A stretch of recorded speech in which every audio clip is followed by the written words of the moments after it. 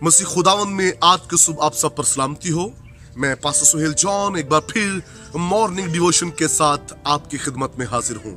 اور آج کے صبح ہم یوہنہ کا پہلا خط اور اس کا تیسرا باپ اور اس کی پندرہویں آیت مقدسہ سے خدا کے کلام کو لیں گے۔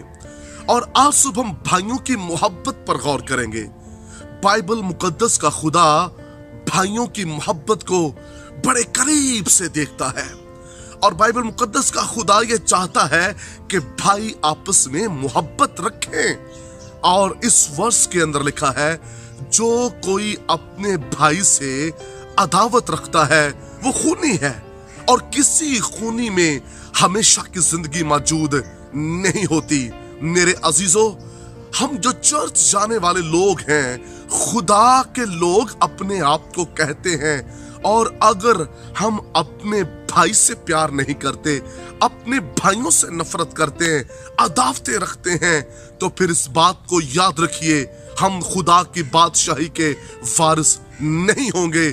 کسی خونی کے اندر ہمیشہ کی زندگی موجود نہیں۔ اور پھر لکھا ہے، جو کوئی اپنے بھائی سے محبت نہیں رکھتا، وہ جھوٹا ہے۔ اور لکھا ہے، جھوٹ بولنے والا بھی خدا کی بادشاہی میں نہیں جائے گا۔ اور پھر لکھا جو کوئی اپنے بھائی سے محبت نہیں رکھتا، اسی یوہنہ کے خط کی جب آپ سٹڈی کریں گے، تو وہاں پر یہ لکھا ہوا ہے کہ جو کوئی اپنے بھائی سے محبت نہیں رکھتا، وہ موت کی حالت میں ہے، وہ مرا ہوا شخص ہے۔ ہمارے نیچے چاہے گاڑیاں ہوں، ہمارا چاہے جتنا مرضی بڑا گھر کیوں نہ ہو، اگر ہم اپنے بھائی سے پیار نہیں کرتے، تو پھر یاد رکھیے ہم موت کی حالت میں ہیں۔ ہم پیٹ بھر کر کھانا کھا رہے ہیں۔ ہم سب کچھ اچھا کر رہے ہیں اور ہمارا بھائی جو ہمارا اپنا خونی رشتہ ہے، وہ بھوکا مر رہا ہے۔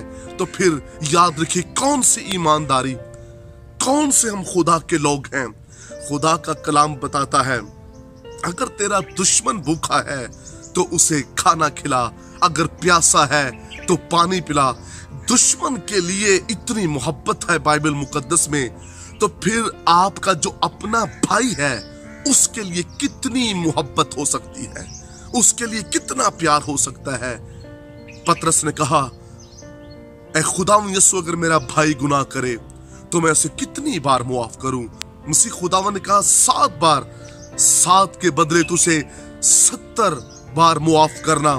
میرے عزیزو، بائبل مقدس کے اندر پھر ایک جگہ پر لکھا ہے کہ ایک شخص قربانی چڑھانے ہیکل میں آیا۔ مسیح خداون نے کہا، اپنی قربانی یہیں پر چھوڑ دے، پہلے جا کر اپنے بھائی سے صلح کر لے۔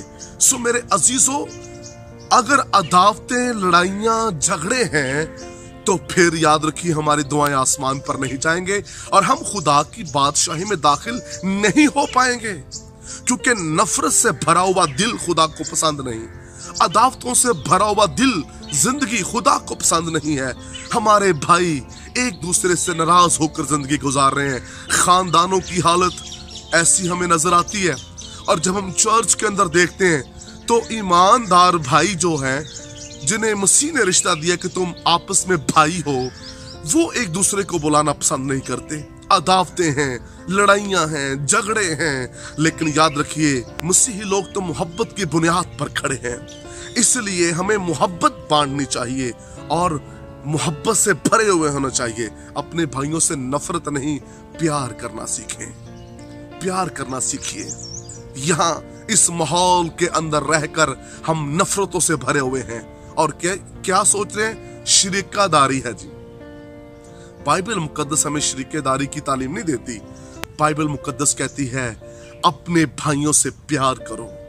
جہاں تک ہو سکے پیار کرو۔ تو پیار کرنے کی ضرورت ہے، محبت کرنے کی ضرورت ہے، نفرتوں کو ختم کر کے۔ آئیے، اگر آج صبح آپ میرے کلام کو سن رہے ہیں، یسو کی آواز آپ تک آ رہی ہے، تو پھر اگر آپ اپنے بھائیوں سے ناراض ہیں، تو آج صبح صلح کر لیں۔ ورنہ آپ کی دائیکیاں آپ کے ہدیے، آپ کی یہ باتیں بے فضول ہیں۔ پہلے صلح کریں، پھر چرچ میں جائیں، پھر دیکھیے گا خدا آپ کی زندگی میں کس قدر کام کرے گا۔ اور جو لیڈرز بھائی آپس میں ناراض ہیں، وہ بھی صلح کریں اور پھر دیکھیے گا خداوند آپ کی روحانی ترقی میں آپ کو کامیاب کرے گا۔ گاڈ بلیس یو بزرگ آسمانی باپ، آج صبح تیری برکت، ان تمام بھائیوں پر تیری قدرت چاہتے ہیں۔ انہیں چھو اور بلیس کر۔ یہ سنام میں۔ تک ہمارا چینل سبسکرائب نہیں کیا تو ابھی سبسکرائب کریں۔ اور بیل آئیکن کو کلک کر کے ہماری لیٹسٹ ویڈیوز کے بارے میں اپڈیٹ جانیں۔